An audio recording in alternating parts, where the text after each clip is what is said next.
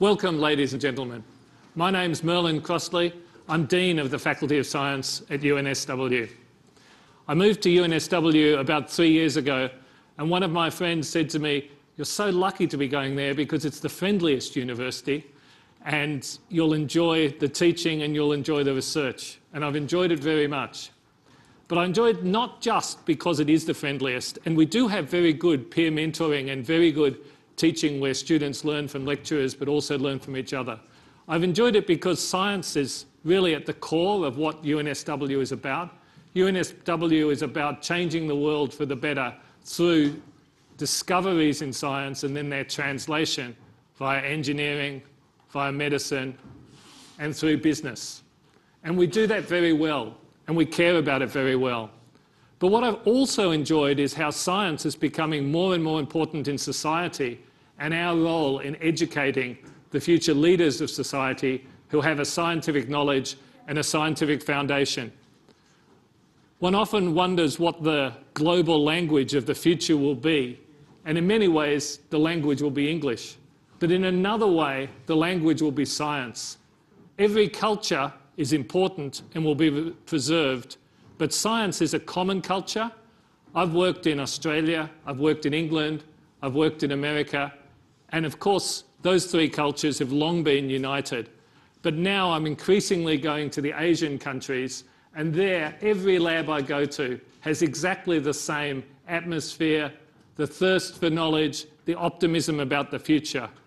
And if you go anywhere in Southeast Asia, through India, or even if you go in some of the countries in Eastern Europe, the spirit of science is the same everywhere.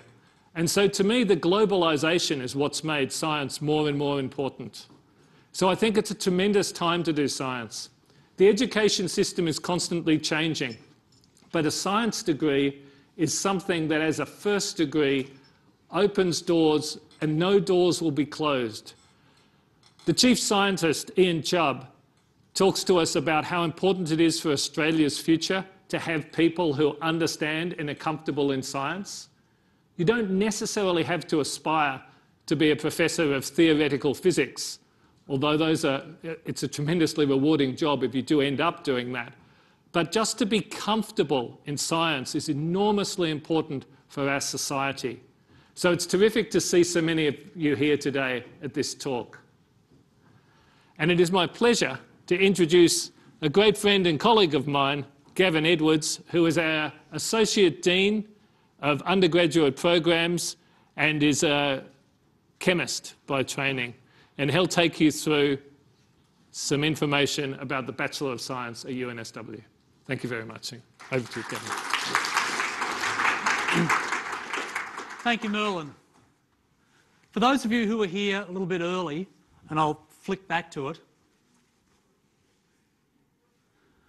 we started off with this slide. And I put it up there not just because of its timeliness, but and not just because of what Stephen Hawking has said, but because I find him truly inspirational. And also because it gives you some idea, as Merlin has said, about the true global nature of science.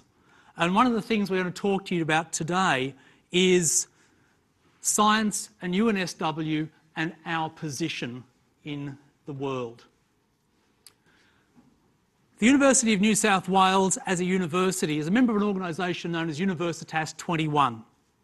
And this is an international network of 23 of the leading research intensive universities throughout the world in 15 countries.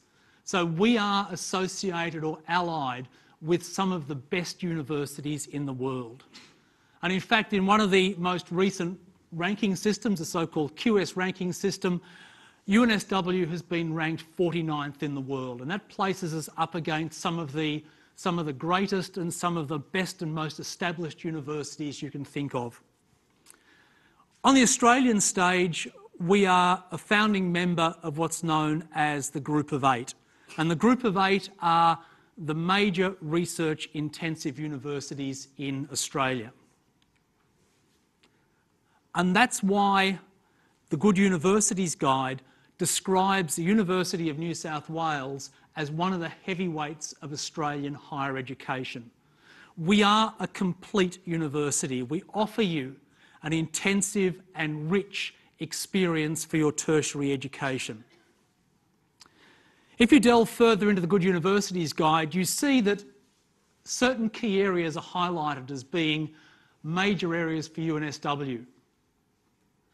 We are leaders in research grants, and certainly in the Faculty of Science, we are up there with the very best in this country as far as being competitive in receiving research grants.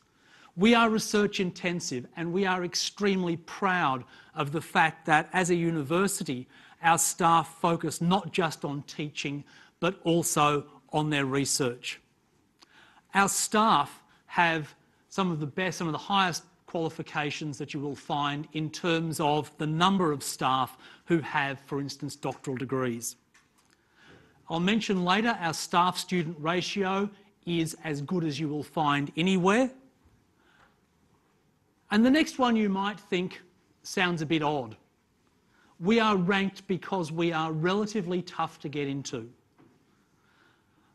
That means that if you're thinking of doing science, we are second to none in the sector in terms of being a destination for science. So if you want to do science, there is no better place to come to than UNSW. We're a culturally diverse organisation, not just in our staff, but in our student body. Our graduates start with wonderful salaries, and we have positive graduate outcomes. I've mentioned research. The University of New South Wales is a leader in research and certainly in science. We're amongst the best in the world in things like DNA technology, quantum computing, wildlife management, new drug development, cosmology. You think of the Curiosity, the Mars rover, beetling around the surface, things like that get our physicists very excited. Amongst the world leaders in psychology and mathematics, we're doing all sorts of things. We're developing new medicines, we're developing new materials, new materials both on the macro scale and also on the nano scale. We're looking at ways to repair and save the environment, looking at things that might sound bizarre like turning plastic bags into steel. Our research is incredibly rich and diverse. I mentioned quantum computing. Now, I love this slide. I really do. It's got two of my favourite quotes. I don't know if they're true or not, but it doesn't really matter. They're fun. Computers in the future may weigh no more than one and a half tonnes. Yeah, sure. You've all probably got a computer in your pockets. Then I think there's a world market for maybe five computers. Yeah, sure. It shows how the world has changed. And quantum computing shows you how it's going to continue to change. Professor Michelle Simmons from physics leads a team that are world leaders as part of an international effort to try and make computers that are smaller, faster, better, smarter, and more secure.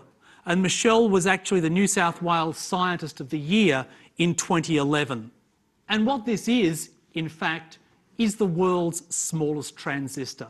And Michelle and her group are looking at ways to develop this as a part of these new quantum computers. We're also world leaders in climate change. We have a climate change research centre we're headed by people like Steve Sherwood and Andy Pitman. They look at climate change, they look at what, how it happens, why it happens, atmospheric, terrestrial, oceanographic research, and they are extremely important in the overall scheme of things in Australia because these are the sort of people who advise the Australian government on the development of policy. As does Richard Kingsford and people in his group. Richard heads up the Australian Wetlands and Rivers Centre, and you may have seen Richard on television relatively recently um, in a range of specials. What the Wetlands and Rivers Centre do is they look at our wetlands, they look at the wildlife, they look at the threats and risks that are facing the biodiversity in our wonderful and fragile environment. and you will again have seen them in the news relatively recently publishing some of their work on the importance of our wetlands. Some other things. Professor Veena Sahajwalla, who you may remember from the New Inventors, her group have been looking at ways to take plastic bags and use them in steel. Now, it might seem particularly strange, but as a part of steel, you need a small amount of carbon. And what Veena and her team have been looking at is that, well, rather than take plastic bags and shove them in the bin and have them end up on landfill, why don't you take some of that waste plastic, because plastic, after all, is largely carbon, why don't you take that waste plastic and use it as a source of carbon? And just the other day, when the Eureka Prizes were announced, Dr. Rob Brander from our School of um, Environmental Sciences won a Eureka Prize for his work on currents and rips. And some of the work he's done involved going to beaches like Bondi and releasing very obvious but benign dyes to actually see how the rips behave. As a university, we have teams working on making new materials, making brand new things that have never been thought of before. Looking at sustainable methods for making and processing materials, looking at biopharmaceuticals, ways to basically make bugs help us to make pharmaceutical agents. We have teams looking at new ways to make catalysts. We also have a sustained effort in nanoscience and nanotechnology. Nanotechnology is the technology or the science of really, really tiny things. And it's thinking about ways that you can develop and build machines and build devices essentially from atoms and molecules up. And we have interests in things like nanotechnology, nanoelectronics, nanomedicine, trying to think of even new ways and smarter ways to target and deliver drugs. Science also looks at human health and allied disciplines. We, we have a school of psychology looking at things like behavioural science, psychological disorders, neuroscience and cognition. We have a school of optometry and vision science. And apart from being a professional discipline that allows you to become an accredited optometrist. They do research in ophthalmics, contact lenses, and looking at new ways to prevent microbial infections on contact lenses. But I mentioned that UNSW is a complete university. We are proud of our research and proud of our research intensiveness, but we are also equally proud of our commitment to teaching and we have a long-term commitment to absolute high-quality teaching.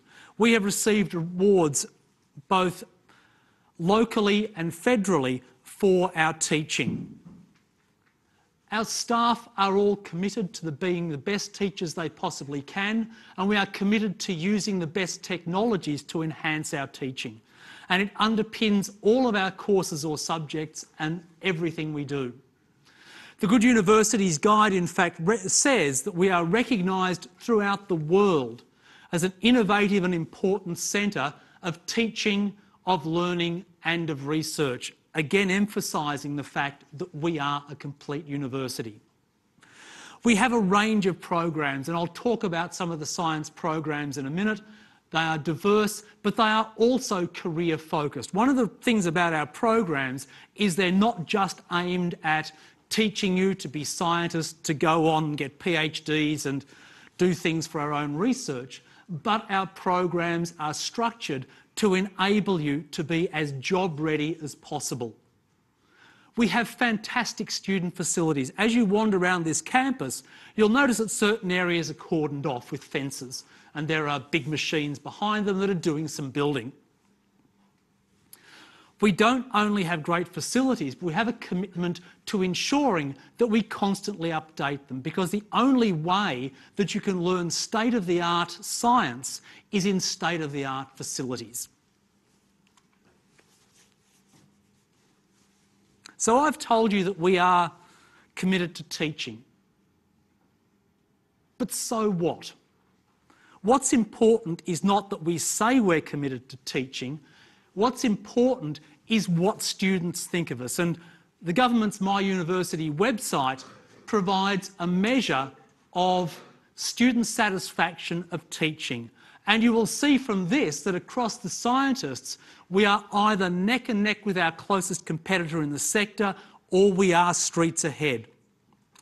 And one of the reasons, I think, is that we have the best staff to student ratio of our, of, compared to our competitors in the sector. As a university, we have a commitment not just to maintaining a good staff to student ratio, but to improving it. We're actually out there actively hiring staff every day to try and ensure that we have the best teachers and that we have an excellent staff to student ratio. So why come here? As I've already said today, you're probably here thinking, well, why should I think of coming to UNSW?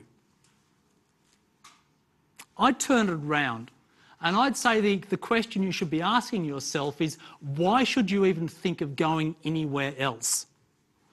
We are an outstanding university. We are one of Australia's leading universities. Remember the group of eight, and we are constantly ranked very highly.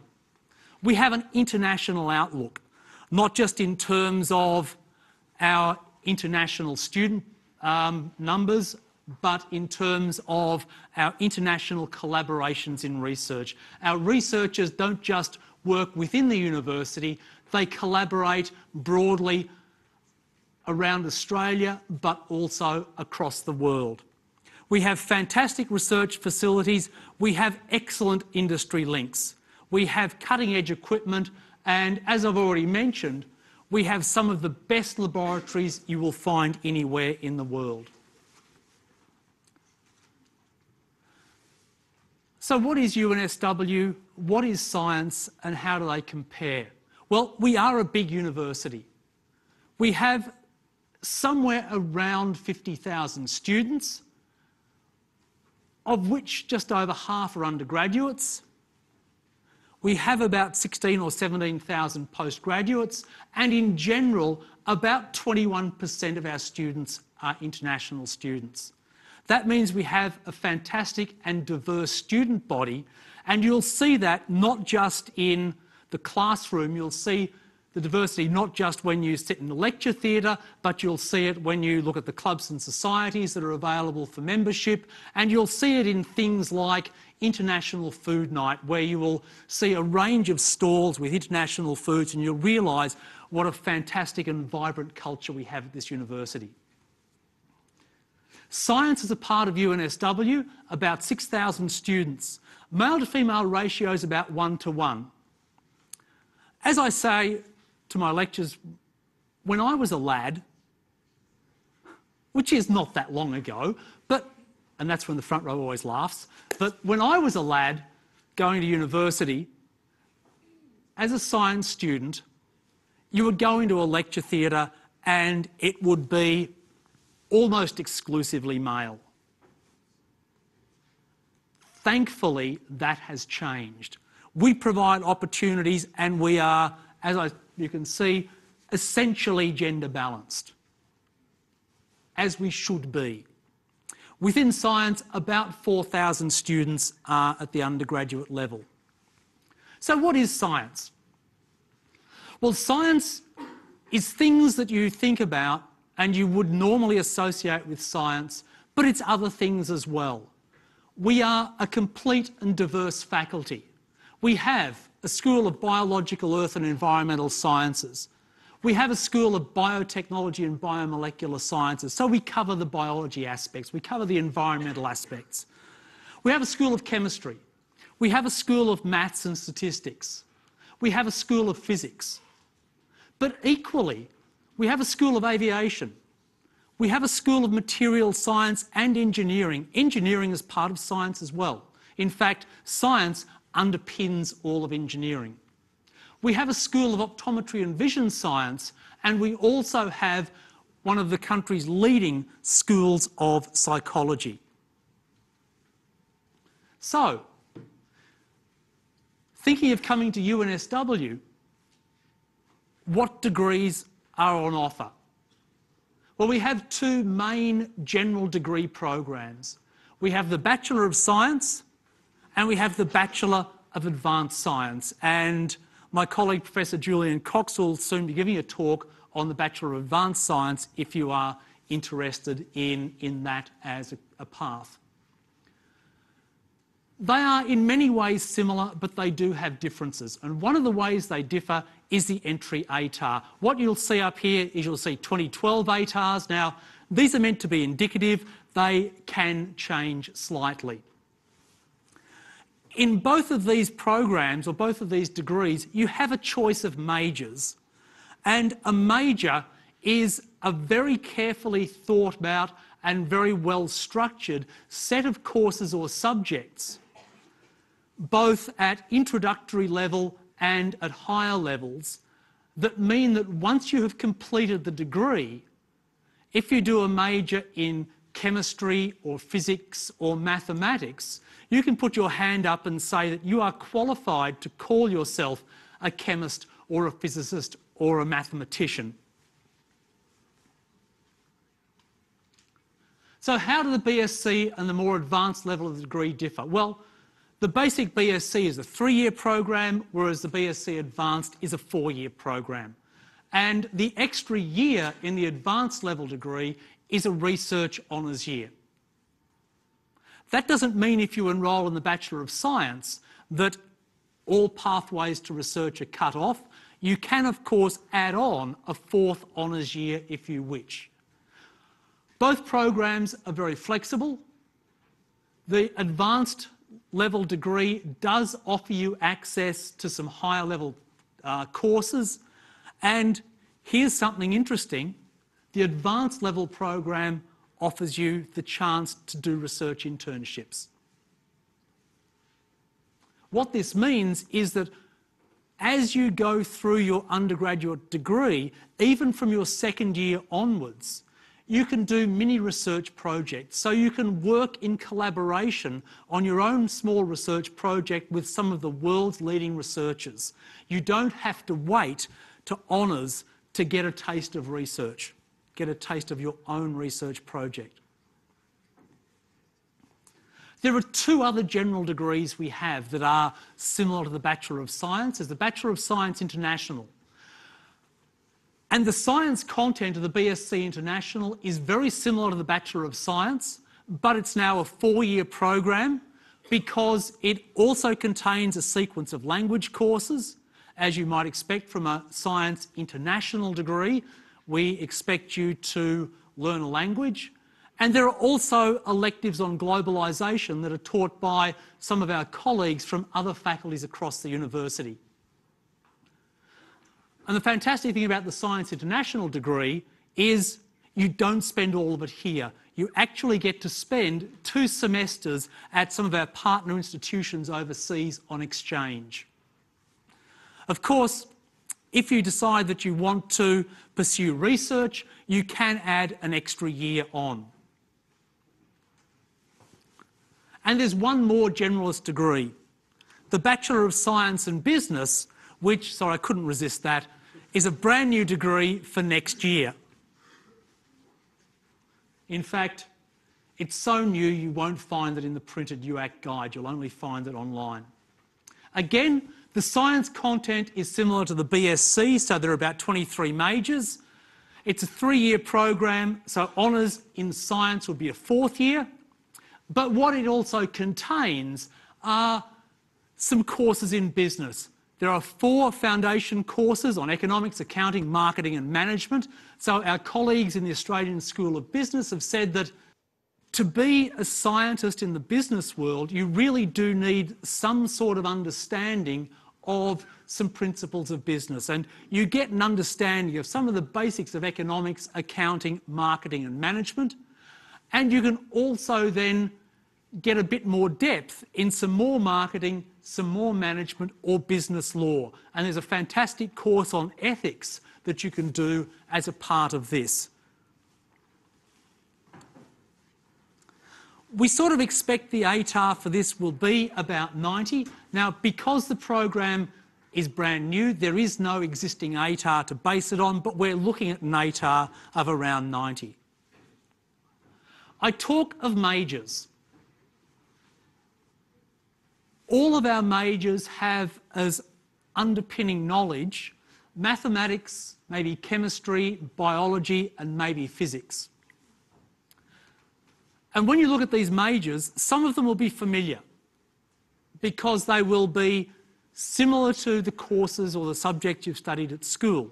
So there's a major in chemistry, there's a major in mathematics, there's a major in biology, there are majors in physics, which we call physical science.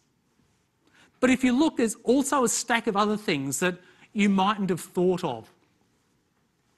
Marine science, climate dynamics, geochemistry, vision science, pharmacology, neuroscience. There's a whole range of options open to you within any of these science degrees. As other degrees go, if maths is your passion, then there is a Bachelor of Advanced Mathematics. It has a really high ATAR, up around 95. It's again a four-year degree that includes honours, and you can now study and specialise not just mathematics, but you can actually choose specific sub-disciplines within maths. So you can specialise in pure maths, you can specialise in applied maths, statistics, or something called quantitative risk, which is a blend of mathematics plus also some business and finance courses. And then we have a whole range of specialist degrees.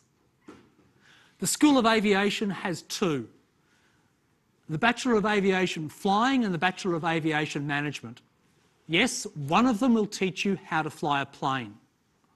The other one won't teach you how to fly a plane, but it will teach you everything you need to know about how to run an airline, so how to manage the airline business. We have a Bachelor of Science in Biotechnology, Bachelor of Engineering in Material Science and Engineering. Yes, you can do engineering as a part of science.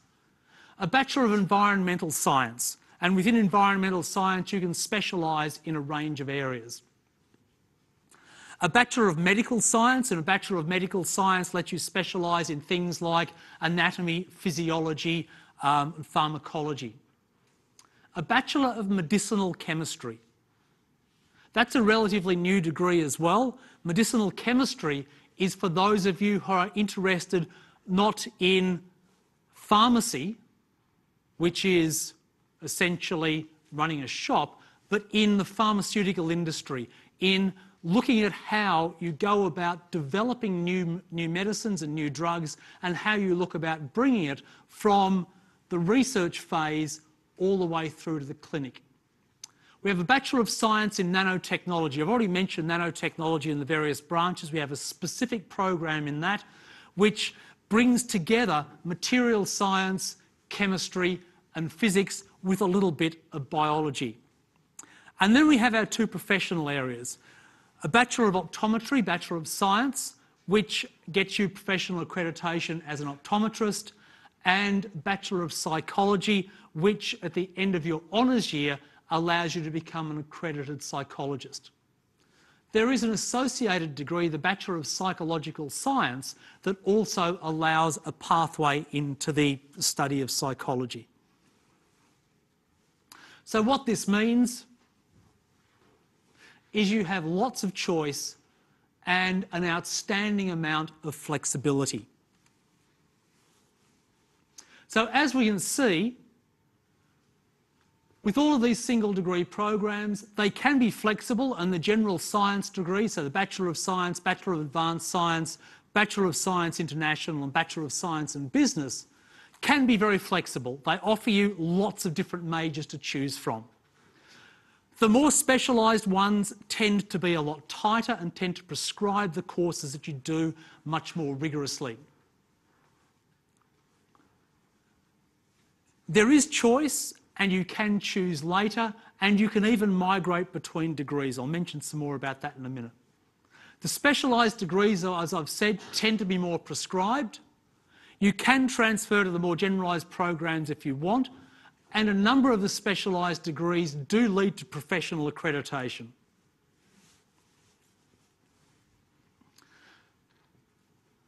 Another pathway to study allows you to combine science with other degrees. And I was going to list all of the dual options that we have with science, but that would have run over several slides and it would have been very, very small font. You can basically combine science with not quite, but almost any other pro degree program in the university outside of science. You can combine science and arts, science and social science, science and commerce, science and education, science and engineering, science and law, science and music. And you can combine a range of other science-based programs with others. Why would you want to do that? Well, it's a great idea for students who have interests in several areas. You might be interested in arts and science. It allows you to combine cross-disciplinary areas. But the other great thing is it saves you time. Because a Bachelor of Science will take you three years. A Bachelor of Arts will take you three years.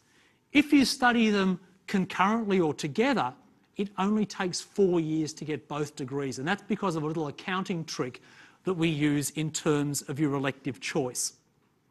So studying two degrees as part of a dual program arrangement actually saves you time. Now, you might have seen some of these ATARs go up and you might have thought, oh, I'm not going to get there, I'm going to miss out by that much, as Maxwell Smart would have said in a television program many, many years ago. Well, you may have heard about something called HSC Plus. We actually have at UNSW a bonus point system that actually rewards your performance in your Year 12 subjects and gives you a few extra points towards your ATAR for entry to UNSW programs. You can get a maximum of five points.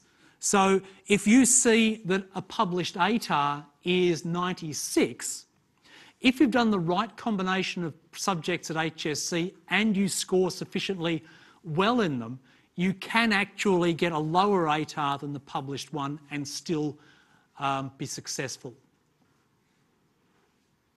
Why do we do this? Well, experience has actually taught us that if a student is interested in a Bachelor of Science, and has studied largely science courses or subjects at school, that they actually do much better in the Bachelor of Science than a student who's done essentially no science in school and suddenly turns around and thinks, yeah, maybe I'll do science after all. Because studying science through school actually gives some background and gives some of the culture, helps to develop from an early stage some of the science culture within the student.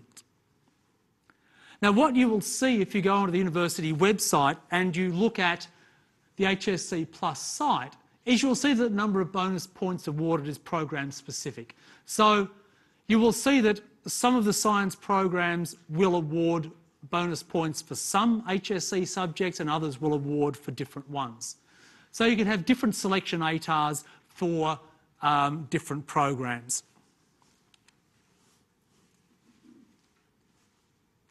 We also have UPP under 21, University Preparation Program under 21. And this is one of the flexible entry pathways for students who have gaps in their knowledge or who maybe fall short of the ATAR for entry.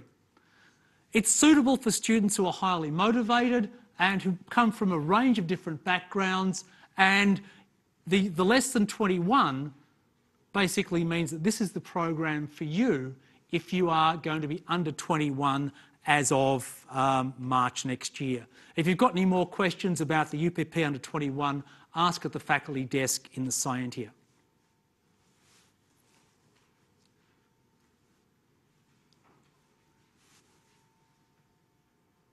when you enrol in a program and you do your degree at university, you get your degree, you're going to then eventually go out into the big wide world and get a job.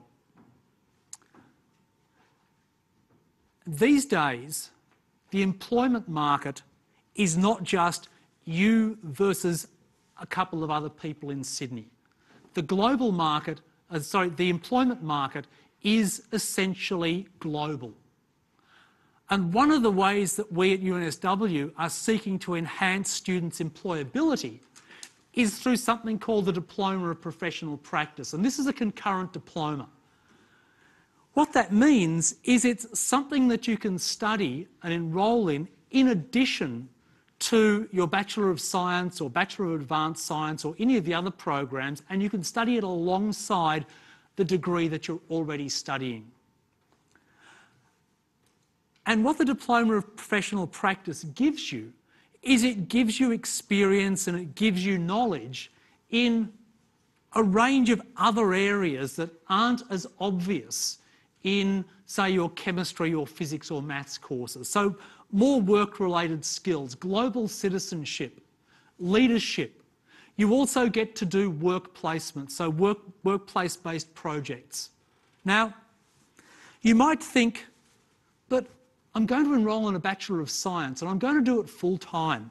Surely enrolling in a Diploma of Professional Practice on top of that is going to impact on my studies and I'm going to start failing courses. It's all going to be dreadful. No. The DPP has been very, very carefully tailored to ensure that the courses that you do in the Diploma of Professional Practice have an absolutely minimal impact on your studies in your main degree. So what it means is the courses that you'll do in the DPP, you'll be doing over summer and in breaks, and you'll be doing them sometimes in very compressed mode. So you can do them concurrently and one should not impact on the other.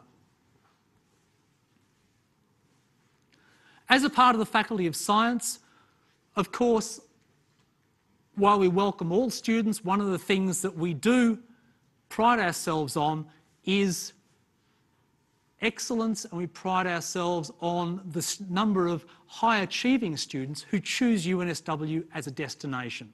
And certainly more and more top students are choosing UNSW as their destination over any other university. So we have a talented students program, which is a specially tailored program for students who come into the university with high ATAR. It's for largely advanced science students and it's by invitation from Merlin Crosley, the Dean of Science.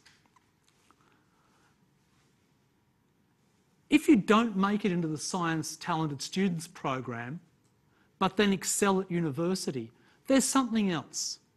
There's what's known as the Dean's List, and that's like a high achievers list for students who do really, really well once they're here.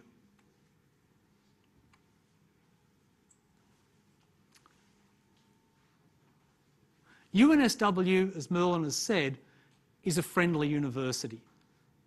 But the transition from university, from, high school to university, is sometimes not easy because you might go from a case where you've been in a relatively small school with relatively small numbers and a teacher who looks after you and basically helps you every day to a range of courses where you might suddenly find yourself in a lecture theatre like this with 400 students and you'll be sitting there and thinking, oh, and you'll suddenly feel swamped and you might, even though it's a big theatre with lots and lots of people, you might suddenly feel very alone.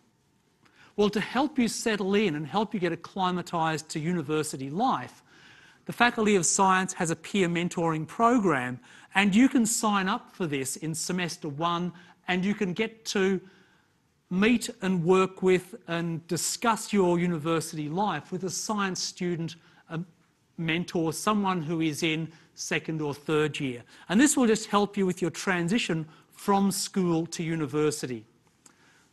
No, they won't do your assignments for you, but they can actually help you with finding things like tutors and finding things like library and navigating around university websites and so on. So much choice, so little time to make up my mind, so many degrees, what will I do? Oh! One of the things that we find is we find that students coming from high school suddenly feel that they have got to make a life defining choice, that they have to do a Bachelor of Science rather than a Bachelor of Science and Business, rather than a Bachelor of Medicinal Chemistry, rather than something else. They have to decide do I do a dual program? Do I do a single degree? There is so much choice. Well, if you enrol in a program and if you suddenly change your mind, ordinarily you would need to reapply through UAC for another program. But the University of New South Wales has come up with an internal scheme called the Internal Program Transfer Scheme. And what that means is you can actually move from one degree program to another, generally after your first year. It's performance based, so it's based on your university marks. But if you enrol in the Bachelor of Science and you do sufficiently well, you could suddenly transfer into the Bachelor of Medicinal Chemistry. Or if you're in the Bachelor of Medicinal Chemistry and you suddenly think, Psychology sounds like something I want to do. I've done a psychology course as an elective and I really like it. I could transfer from medicinal chemistry into the Bachelor of Psychology. We have an internal mechanism whereby you can do this without ever having to go back to UAC again. So the Faculty of Science, through all of our programs and all of our courses, give you a very sound knowledge base. But one of the other things that we have embedded in all of our course, courses are a range of important graduate attributes. And these are the harder to define and more generic skills that are necessary for success and necessary to make you highly employable.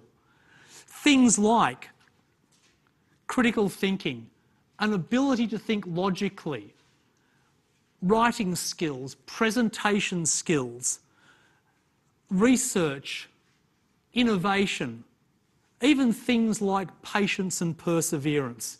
These are all the sort of graduate attributes that you will pick up along the way. And these are the sort of things that are valued highly by employers. Now, ultimately, whether you do one degree or two, whether you stay on and do honours or a PhD, at some stage, you're going to go out into the big wide world and get a job. And if we ask employers what they want, it seems they don't really want very much. They just want to know that you can do the job. So, do you know some stuff? Do you have some skills? Do you maybe have some experience? They want to know you will do the job. They want to know you're motivated.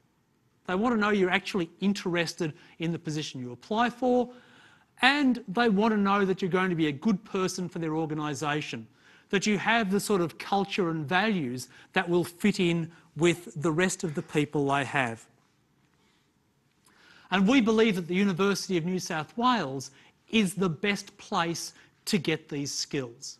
We will give you the academic qualifications. We will give you the knowledge base. We will give you opportunities for work experience and research experience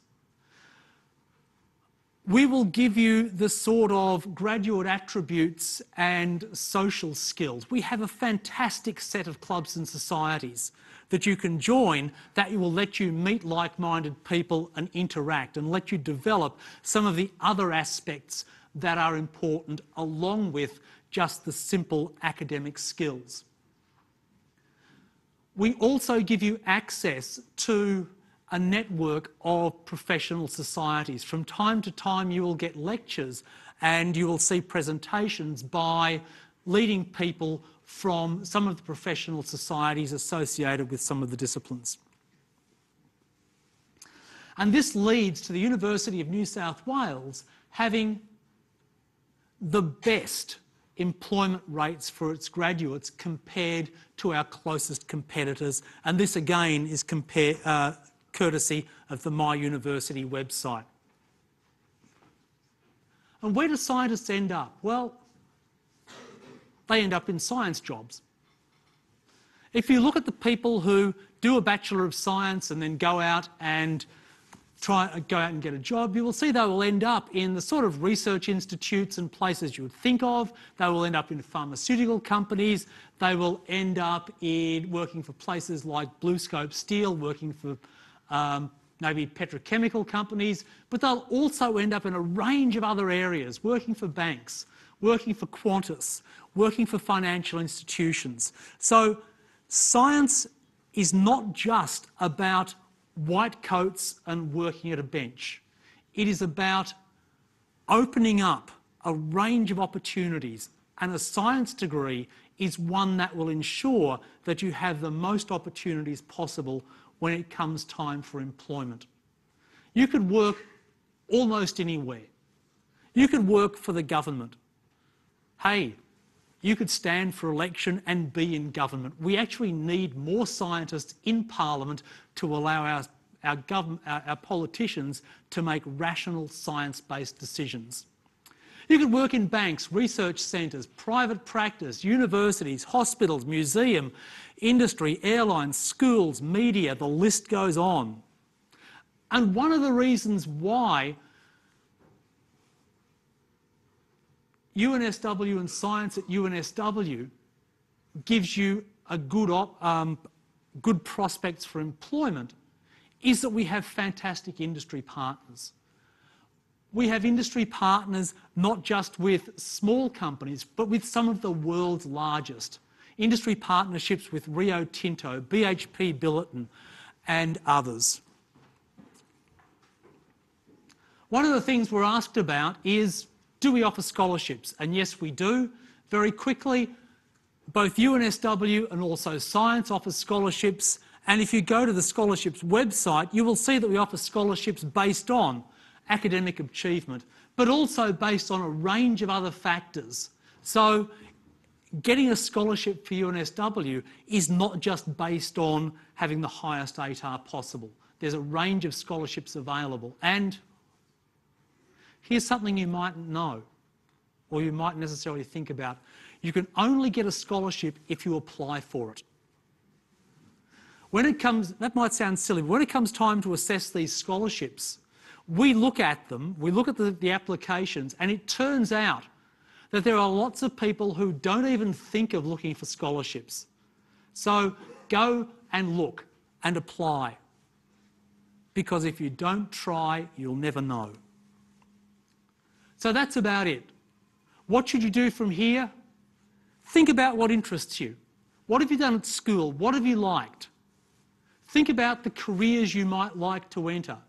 Talk to family and friends about their opinions, their experiences. Talk to your family about what they see as being good opportunities. Read as much as you can.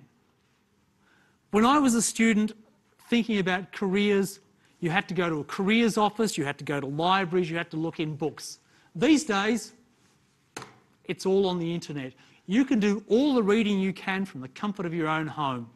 You don't have to go out. You can do things like explore the science website from your own home to find out more about the degrees that we have on offer, to read some of the testimonials from some of our students. So if you have any questions, I'll be available after, as will Merlin and Julian. But equally, over in the Scientia building, there are lots of people on hand to ask you, answer your questions. The UNSW Handbook Online for 2013 is available. You can find out more of the specific details of the degrees there. Our website has lots of information on courses, career profiles, graduate profiles, and some of our current students. And I'd like to finish again with Stephen Hawking from the Paralympics when he said, Look up at the stars, not down at your feet. Try to make sense of what you see and wonder about what makes the universe exist. Be curious. Thank you.